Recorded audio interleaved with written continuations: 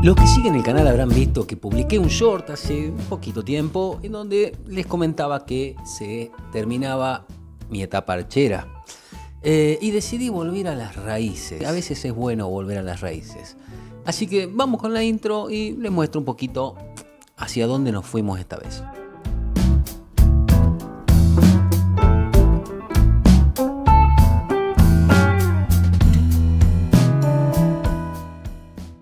Hola, hola, hola amigos de la Garza Resistente, sean bienvenidos a este nuevo episodio acá en el canal. Un episodio simplemente para comentarles eh, que bueno, después de mes y medio más o menos usando Arch con eh, Hyperland, el gestor de ventanas Hyperland, fue una experiencia maravillosa, debo decirlo. Eh, bueno, pasó lo que iba a pasar, que, a ver, Hyperland se actualizó a la versión 0.45 y ya saben que en Arch apenas se actualiza el paquete, ahí ya está, pum, para que lo actualicen y tenía algunas cositas que seguramente son pavadas que se van a arreglar con una próxima actualización y se acabó. Pero fue la excusa como para decir, volvamos a las raíces. Eh, yo mostré en el short eh, el, gestor de, sesiones Slim, por si no, no, se dieron cuenta, es Slim. Eh, es el gestor de sesiones que yo uso cuando estoy en X11. Así que vamos a la pantalla y vamos a develar en qué, a qué sistema nos fuimos esta vez acá en la Garza Resistente. Bien, gente querida, vamos a, develar el secreto, ¿sí? Con un atajo de teclado con Super T y abrimos la terminal. Y como verán, tatán, Debian. Debian, ¿sí? Esto es volver a las raíces. Volver a las raíces, al lugar donde, desde donde nunca me tendría que haber ido, porque Debian es como... Porque Debian es Debian, ¿sí? Eh, una maravilla con el gestor de ventanas OpenBox. Un OpenBox que decidí instalarlo em, desde cero sin usar script de ningún tipo, o sea, script de instalación. ¿no? Recuerden que yo eh, en algún momento había comentado que eh, me habían dado ganas de volver a, a Debian OpenBox y dije, bueno, voy a meterle el script de instalación de, del amigo Leo Markov, pero dije, no, vamos a hacerlo un poco, porque a veces uno, a ver, uno si no se olvida de las cosas. Dije, hagámoslo de cero, instalación Debian mínima, mínima, y a partir de ahí empezar a instalar OpenBox, instalar Tintu, que es el panel, instalar Rofi, en lugar de otras veces por ahí instalaba JGMenu, ahora dije, vamos con Rofi, con Rofi hagamos, eh, eh, qué sé yo, el menú de salida, el menú principal, y, después ir configurando todo poco a poco. Este, con, un montón de cositas que se las fui agregando y ahí sí tiré de chat GPT, ¿sí? Este es un dato que por ahí esto es lo más, que más sobresaliente del video, es que eh, hoy por hoy con la inteligencia artificial, sabiendo hacer las preguntas correctas, los puede ayudar un montón eh, si usan eh, Polybar, si usan Tintu, si usan ese tipo de paneles y lo quieren configurar a su gusto eh, básicamente eh, lo que hice fue entonces instalar OpenBox, instalar Nitrogen, instalar Rofi, instalar Tintu, eh, instalar, bueno, todos los programas necesarios, una calculadora Calculator, visor de, imágenes Ristreto, visor de documentos Atril, gestor de archivos Tunar, ¿sí? O sea, acá lo, lo bueno de estas instalaciones es que ustedes instalan lo que se les da la gana, no hay límites. Eh, instalan eso y después empiezan a configurar un poco para dejarlo más o menos a, gusto de ustedes. ¿sí? Em, yo lo que hice fue instalarme, como les dije, Tintu, crear el archivito AutoStart, se lo voy a mostrar ya que estamos. Vamos a ir a config, vamos a ir a openbox. Acá está, al final. Y eh, acá tengo el auto start que recuerden que cuando ustedes instalan OpenBox, no eh, esto lo tienen que crear ustedes, ¿sí? se instala y ustedes tienen que ir a .config, a OpenBox y crear un archivito AutoStart. ¿sí? Em, las carpetas, como verán, miren, eh, yo lo que hice fue descargarme recursos que, fui encontrando que más o menos ya los, tengo identificados, por ejemplo, la carpeta de Leo Markov, yo me la, descargué, hice un, git al, GitHub de él y me bajé y saqué de lo que descargó, saqué las cosas que por ahí necesito, ¿sí? Y las guardé acá en una carpeta que dice recursos varios, ¿de acuerdo? Eh, después, por ejemplo, esta carpeta de iconos, ¿sí? que está buenísima para usar en Tintu. ¿sí? Tiene varios, son iconitos para, para usar en el panel, por ejemplo recursos, ¿sí? así como descargo temas GTK, descargo iconos, eh, también descargo estas cositas para modificarlas o bien de última para tenerlas por si necesito echar mano. Bien, creé el archivo AutoStart y acá está mi AutoStart que como verán le pedí que me arranque Tintu, Nitrogen Restore, el PN Mixer, eh, Picom como gestor de composición, el LX Polkit, ¿sí? el gestor de la red, el NM Applet, eh, esta, esta ordencita que es el Sync Client Vertex es para que eh, me funcione el, ¿cómo se llama? El trackpad de, la notebook. Eh, esto lo que hace es que desactive cuando estoy escribiendo, ese tipo de cosas. Y acá, por ejemplo, miren, tengo un pequeño script que se llama monitor de batería que me sustituye al XFC 4 Power Manager. ¿Por qué lo sustituyo? Porque el Power Manager de XFCE es eh, hartantemente invasivo. O sea, te manda notificaciones todo el tiempo. Que si está cargada, que si se descargó un punto, si se descargó tres puntos, que si se desenchufó, que si... Eh, o sea, es como que no se cansa. Cada en un intervalo de tiempo va mandando, mandando. Dije, ah, saqué eso. Este, y me hice un script. ¿sí? El script Mm, la verdad, sinceramente les digo, pedí ayuda a ChatGPT y dije, metamos varias cositas más. ¿Qué scripts me hice? Este lo pongo acá en el AutoStar porque este tiene que estar trabajando en segundo plano como si fuese un demonio. Siempre en segundo plano. Este, y si yo desenchufo el equipo a la red, a ver si ahora me lo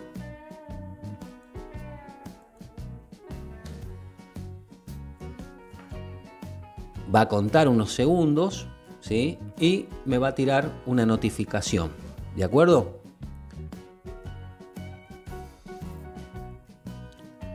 Ahí está. Batería descargándose, el equipo se desconectó de la corriente eléctrica. Eso se lo, se lo puse yo, digamos, uno ahí le puede poner el mensaje que uno quiera, ¿de acuerdo? Tiene un tiempo, porque el script se va ejecutando cada una determinada cantidad de segundos y este, listo. Ese script lo que hace simplemente es informarme. Cuando llega a menos de un 20%, ya me empieza a tirar una alerta diciéndome estoy trabajando con menos del 20%. Eh, por favor, enchúfame rápido, una cosa así. Este, es, es este, simple, me avisa. Después, lo que es la gestión de, digamos, de energía en sí, ustedes ya saben que yo uso Auto CPU FREC. Y listo. Si necesito ponerlo en un modo Power Save, bueno, está trabajando en un modo Power Save, o si quiero Performance, o si quiero el Default. Chao. Con eso tengo, obtengo un buen rendimiento de lo que es procesador, control de la temperatura y demás, así que este, para mí con eso problema resuelto. Bien, eh, hice, eh, obviamente al no tener el Power Manager ya no tengo tampoco quien me gestione el brillo, el brillo de la pantalla, que es fundamental.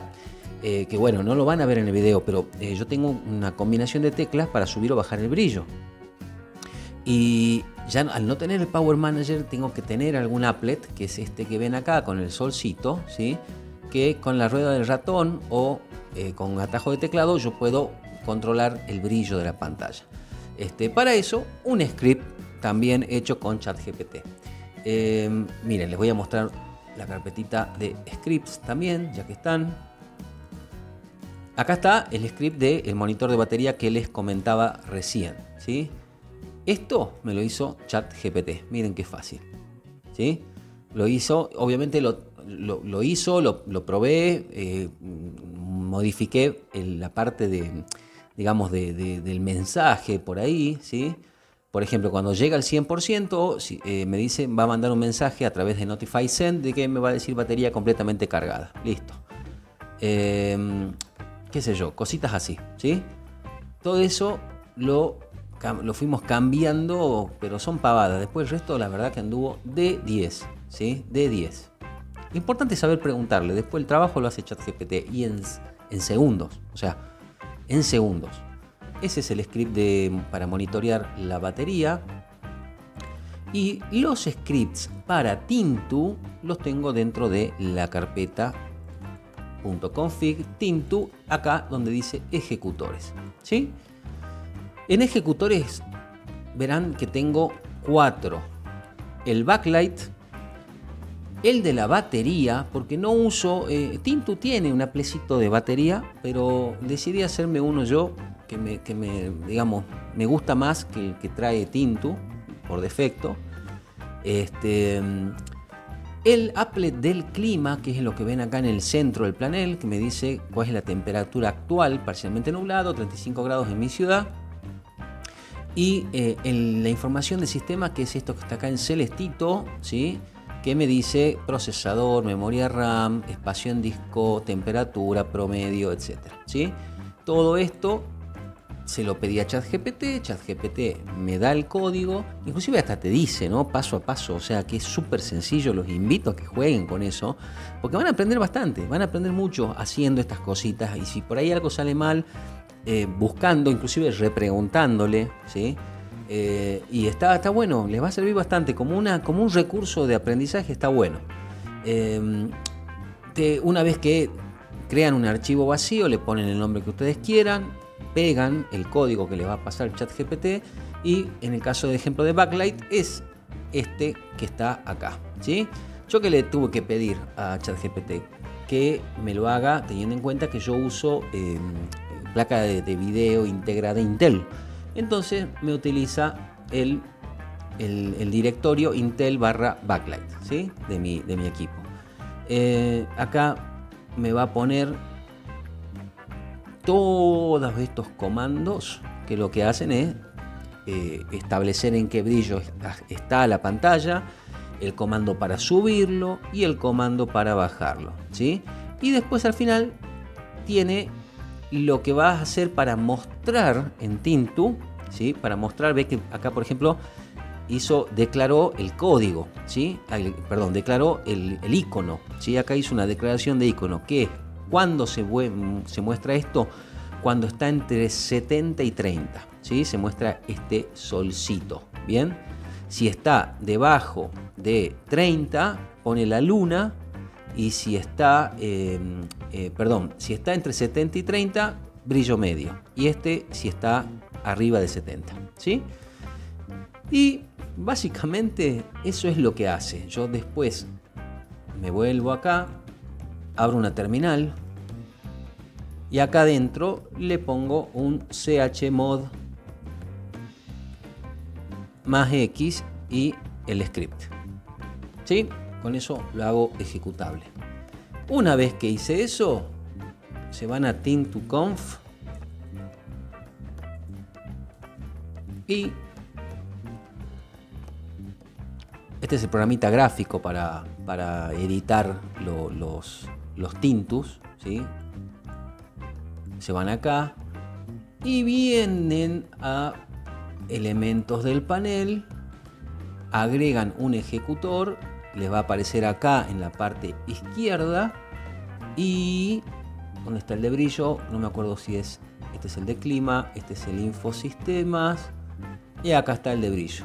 Acá en el comando pongo la ruta completa, ¿sí? a donde está mi script ejecutable, el intervalo, eh, esto lo dejan así por defecto sin, tocar. Y acá dice, comando al girar la rueda hacia arriba y le puse el comando que es la, la ruta al script, espacio up o espacio down. ¿sí? Tan simple como eso. Eh, después la parte gráfica, bueno, qué colores quieren que, se muestre. Eh, yo acá puedo cambiarle que se muestre de otro color, qué sé yo, no sé, eso ya es una cuestión de gustos. Y listo, aplican y ya tienen su script de brillo funcionando. Lo mismo hice con el de batería, ¿sí? El de batería, que es este que está acá. Es, es simple, digamos, Acá me va a mostrar si se está cargando, si se está descargando, el porcentaje que tiene de carga y nada más. Nada más que eso. ¿sí? Eh, lo hacen ejecutable y lo mandan al Tintu. El de clima también, súper fácil. Acá yo tengo que declarar cuál es la ciudad. ¿sí? Le, digo en qué unidad, si quiero que sea Celsius o Fahrenheit. Nosotros de este lado, salvo, salvo Estados Unidos, Después el resto del mundo civilizado utiliza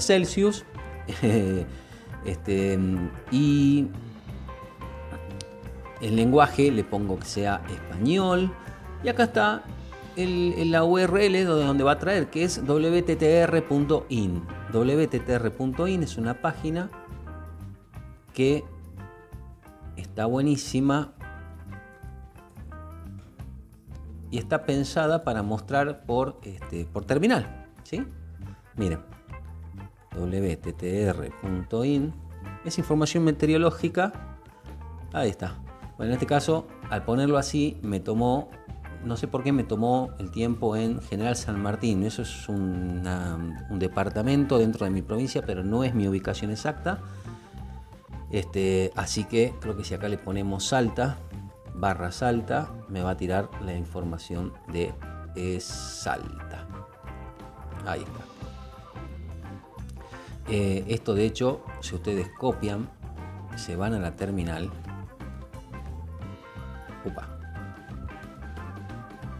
Y ponen un curl y pegan esto. Ahí está, en terminal la info. ¿Sí?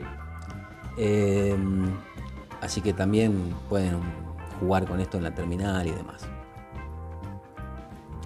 Eh, básicamente todo con este pequeño eh, gran invento que es el chat GPT. Después, ¿qué le puse? El, el Infosistemas. Acá me va a pedir información del CPU, información de la RAM, para eso utiliza el comando free, por ejemplo, ¿sí? el del CPU utiliza el mpstat, eh, el df-h para saber el comando para conocer el, digamos, el espacio libre en el almacenamiento de sus equipos, sí hay que instalar el LM Sensors, un programita que te avisa, ¿no? ChatGPT te dice, fíjate si tenés instalado esto, caso contrario, instalalo con un sudo apt install, o sea, te dice todo, es muy simple. Ahora les voy a mostrar cómo, cómo se hace. Este, y eh, listo. Una vez que eh, tengo toda esa información, la orden para mostrarlo en el Tintu es, o en la terminal, porque este script lo pueden correr en terminal, es, eh, me saca el uso del CPU con este pequeño separador, el la RAM, separador, espacio en disco y temperatura. ¿sí?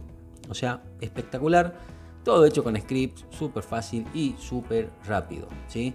Em, vamos, les voy a mostrar así rapidito como un ejemplo, digamos, cómo, o cómo hago yo para preguntarle. Entro a ChatGPT y le pongo, ¿me podrías escribir un script en Bash para mostrar em, si hay, vamos a hacer algo nuevo, si hay actualizaciones de mi sistema Debian.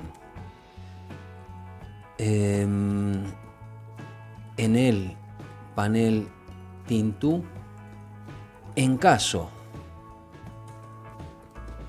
en caso de que hubiera actualizaciones, solamente muéstrame un icono y con notify send envíame una actualización una una notificación por única vez, porque no quiero que me esté molestando. Eh, tenés actualización, tenés actualización, entonces por única vez. Le doy enter y miren lo que va a pasar. Me dice, sí, acá tenés un script en bash, pum, listo. Ahí está, ahí lo está escribiendo. Más rápido no se puede. ¿Sí? y hasta me pone el iconito que le vamos a poner al sistema. Instrucciones, dice. Guardar el script, eh, por ejemplo, ustedes pueden ponerle el nombre que quieran, ¿sí? Vamos a usar Chrome para automatizar, o sea, si quiero que se ejecute automáticamente, eh, es buenísimo, es buenísimo, ¿sí?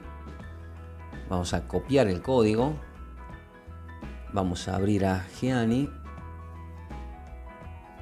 Archivito nuevo y pegamos. ¿sí? Em, Ah, acá no me puso el icono. Dice ruta al icono sin actualización. A ver, no sé si tendré yo iconos en la carpetita que les mostré recién. A ver, a ver, a ver, vamos a Openbox. Veamos si tengo acá iconos de actualización. Um, este podríamos usar, que este es para reiniciar. Este podríamos usar, me parece. No sé qué, qué opinan ustedes. Vamos a copiarlo y lo vamos a mandar acá.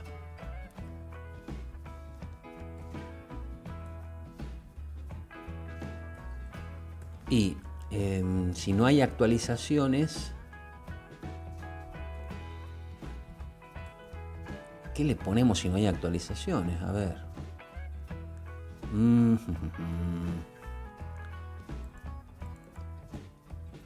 a ver este. Tendría que haber alguno con un tilde, ¿no?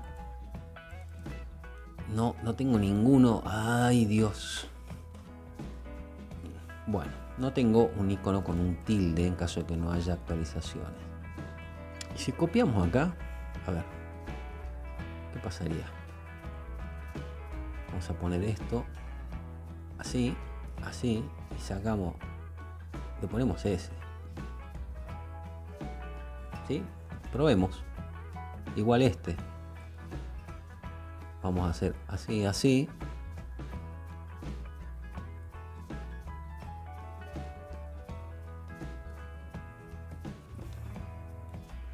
No sé si va a esperar un icono, pero bueno, vamos a probar.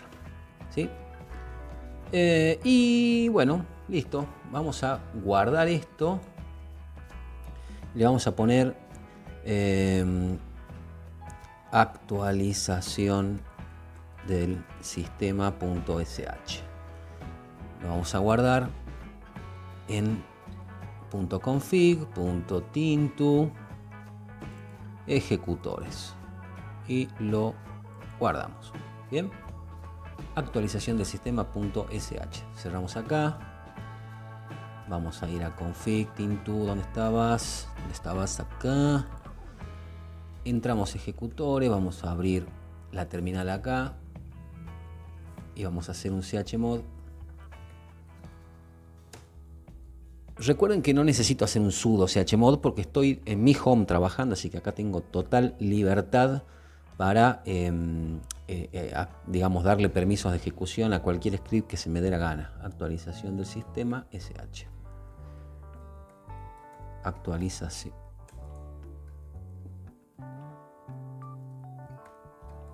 del sistema.sh. Listo. Ahora que tengo esto así, si ustedes vuelven al chat GPT, bueno, ahí nos dice guardar el script, cambiar el, permiso de ejecución, perfecto, configurar las rutas de los iconos que yo le, puse ahí a ver si me muestra eso, vamos a ver si funciona. Um, y después integrar con Tintu. Automatizar la ejecución. Para verificar las actualizaciones regularmente, añade una tarea en cron o un temporizador con systemd. Por ejemplo, con cron sería cron, cron tab-e y añade una línea para ejecutar el script eh, cada hora. ¿sí? Sería así. O sea, ruta, hay que poner la ruta, por supuesto, ¿no? Este, a ver, lo hagamos, probemos. Vamos a ir a la Alacrity. Vamos a hacer un cron tab guion e. Eh, no hay un cron tab, vamos a usar uno, em, uno vacío. Vamos a seleccionar el editor. Eh, vamos a elegir a, por supuesto, a nano, nanito. Ahí está. Y le vamos a agregar una liñita eh, que es, a ver, vamos a copiar el código. Hacemos control B y acá le hay que cambiar la ruta. ¿sí? La ruta era home cisco.config barra em, ¿cómo era? Eh, Tintu ejecutores. Tintu barra ejecutores barra eh, actualización del sistema.sh. actualización del sistema.ssh. Listo. Control O para guardar, control X. y con esto dice Tintu va a mostrar. Bueno, hay que agregarlo al Tintu, ¿de acuerdo? Vamos a ir acá, vamos a ir a elementos del panel, vamos a agregar un ejecutor más con la flechita. Eh, lo vamos a poner acá. Este va a ir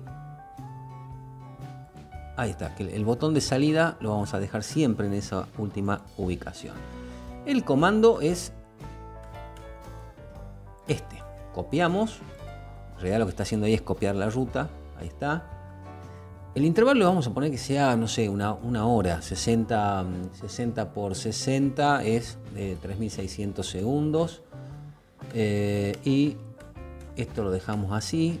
Comando clic izquierdo, clic derecho. Em, y esto lo vamos a dejar, sí, simplemente quiero que sea informativo, ¿de acuerdo? Eh, el fondo, vamos a ponerle el mismo fondo que le pusimos a los otros. Relleno horizontal, vamos a poner 5, margen vertical 2. Em, la fuente, eh, bueno, en realidad va a mostrar solamente un, dibujito, así que no vamos a tocar la fuente. Vamos a decirle que esté centrado y ya está. Creo que con eso estamos. Acá esperen que acá me está informando algo. Le le vamos a poner a la fuente que sea blanca, así puedo leer qué me dice. Sistema actualizado. Ahí está. ¡Qué maravilla! Eh, pero ahora quiero que se vaya. Acá me lo va a mostrar permanentemente. Tengo que agregarle entonces acá. Miren, vamos a hacer una cosa. Voy a aceptar acá, voy a dejarlo así. ¿sí?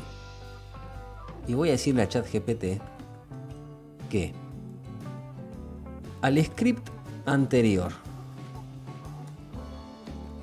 podrías configurarlo para que no se muestre si el sistema está actualizado. Y me dice, claro, vamos a ajustar el script. Y ahí lo cambia. ¿Sí? Ahí lo está cambiando porque yo no quiero que esto quede así permanentemente.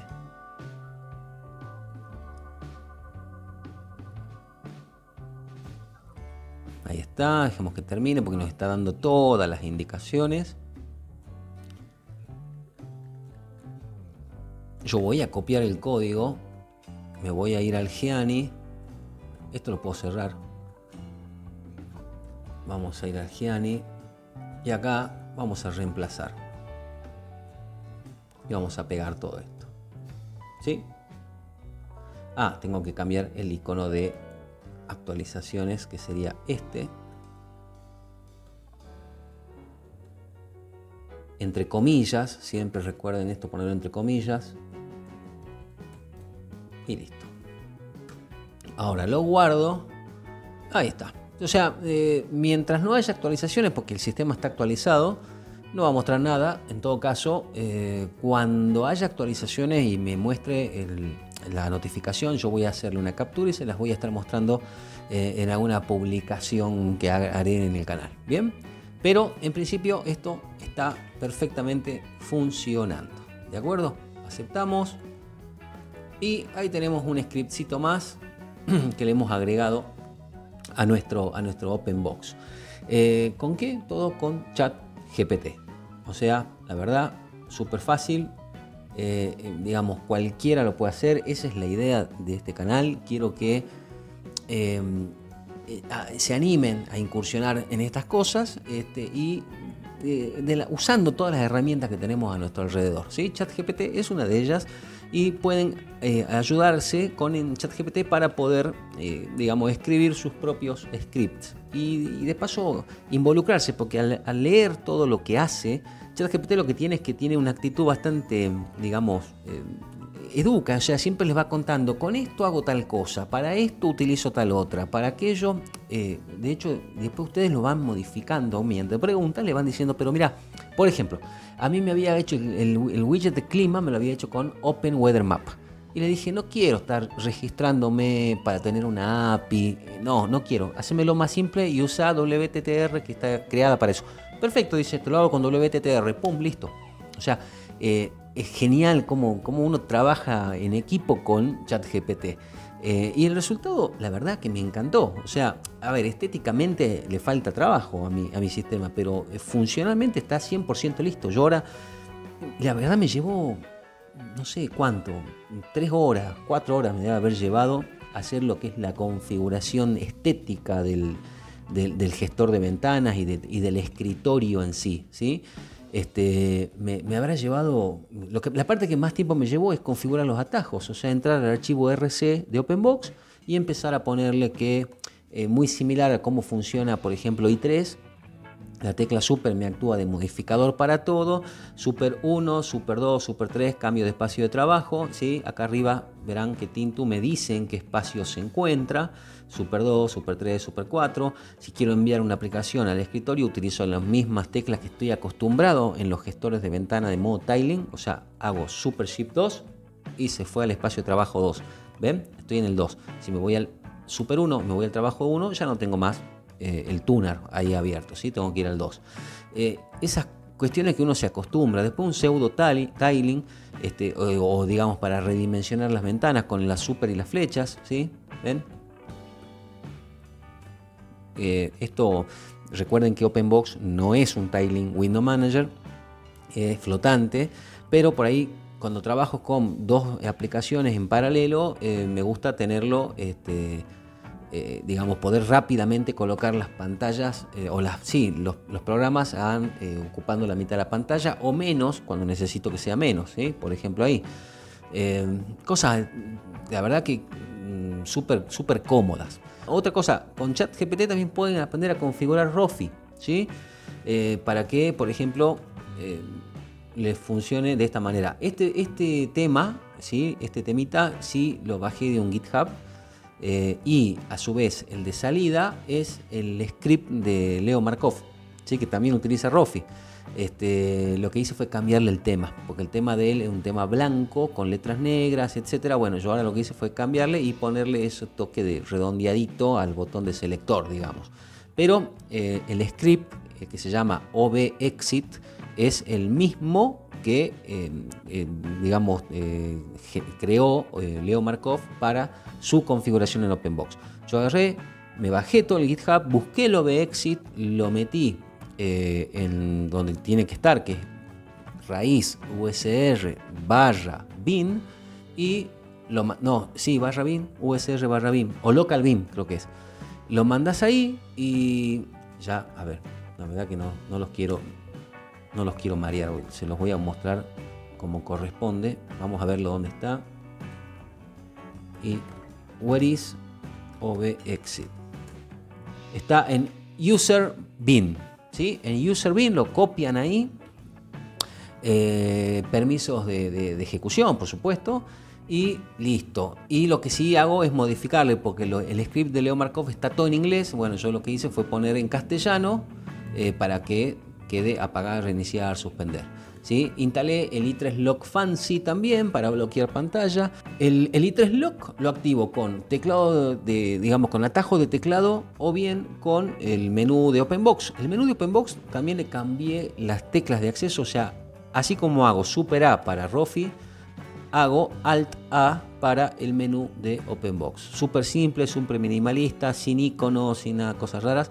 Este, acá tengo todos los ajustes de configuración, configuración de pantalla, notificaciones, fondos, apariencia, eh, bueno, efectos visuales. En realidad acá simplemente tiene un acceso para modificar picom.conf, nada más. Eh, bueno, el menú, el menú obviamente lo trabajé. Acá tengo para eh, acceso al, a bloquear pantalla y se activa el i3 Lock Fancy. apagar el sistema vuelve a activar el OB Exit, todas las aplicaciones, bueno, ¿sí? unos accesos directos a la terminal, al navegador y al gestor de archivo y también un acceso directo a el ROFI.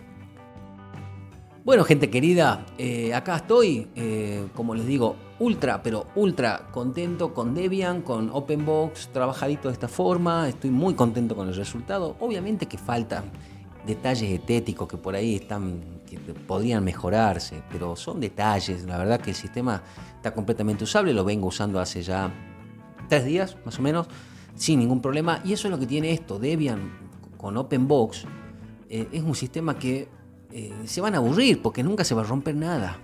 Les cuento un detalle. Eh, cuando yo instalo siempre Alacrity, me encanta ese, emulador de terminal. Alacrity, cuando uno lo instala, no instala ni directorio de configuración, ni archivo de configuración, nada. Si vos querés configurar Alacrity, porque Alacrity es un cuadrado negro con letras blancas, si vos querés cambiarle el color del cursor, tenés que crear un archivito y trabajarlo. Por costumbre, el archivito de Alacrity desde la versión 0.13 es un archivito extensión .toml eh, con una sintaxis y de hecho si entran a alacrity.org ahí está el modelo de sintaxis y ustedes tienen todas las variables que le pueden ir colocando, la opacidad, etc. Y bueno, estaba haciendo eso y no me tomaba eh, la configuración Alacrity. Digo, ¿qué pasa? Y no me la tomaba, no me la tomaba. Era una cosa eh, de loco, me rompía la cabeza hasta que me acordé que estoy en Debian.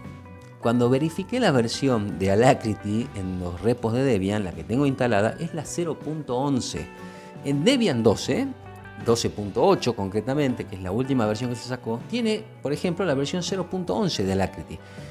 Desde la 0.13, Alacrity trabaja con los archivos .toml.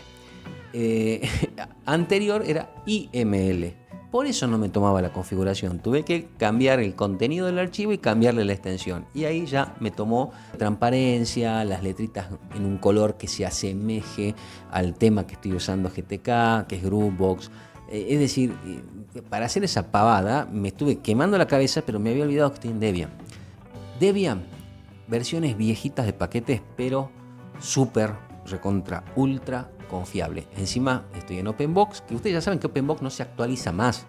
Este, digamos, OpenBox es, esto y siempre va a ser esto. Eh, estoy en X11. Eh, es decir, eh, acá no voy a tener problema de compartir pantalla, por ejemplo, en Zoom, que yo lamentablemente tengo que usar Zoom. Acá no voy a tener ese problema que sí tenía en Wayland. Yo en Wayland a Zoom tenía que utilizarlo desde el navegador y lo mismo me daba problemas para compartir mi pantalla. Em, así que nada, ahora todo va a funcionar perfectamente. Eh, y bueno, volví a las raíces, tan simple como eso. Y estoy feliz de la vida. Así que gente querida, em, espero que les haya gustado el video. Eh, les mando un beso enorme a todos ustedes y nos estamos viendo en el próximo capítulo acá en La Garza Resistente. Chau, chau.